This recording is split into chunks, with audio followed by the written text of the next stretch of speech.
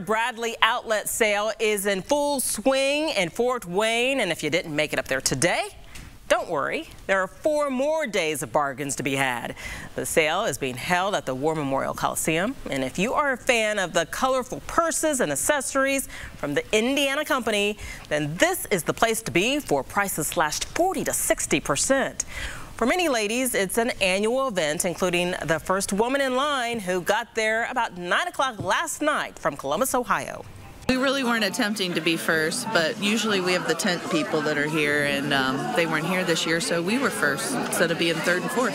It's Just getting together with my friends, having something to look forward to. It's a great product, you know, that I've had in my life for many years, and I'm sure other people have had for many years previous to mine.